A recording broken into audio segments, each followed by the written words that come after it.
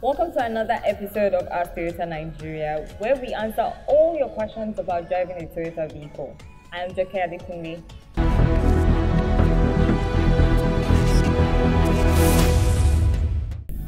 The question for this episode is from Ayo in Lagos. Here goes. It's flooded in my area and water seeps into my Toyota Yaris. Should I be worried? Okay, this is a very good question because it's a, it's a common issue.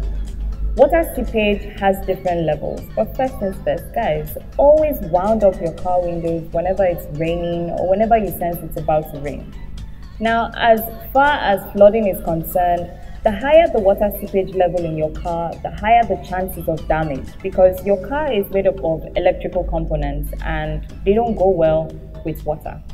Water seepage at the floor mats level will cause corrosion of connectors inside the wire ducts below the floor mats, which can lead to fire and malfunction of major systems in the car.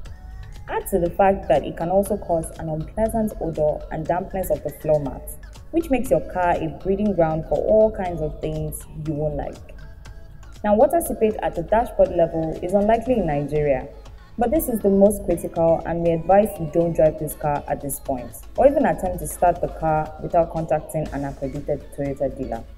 At this level, the water may cause damage to the electronic control modules, disruption of the car's communication network affecting several systems like your audio-visual systems, traction control, systems immobilizer, and anti-theft systems.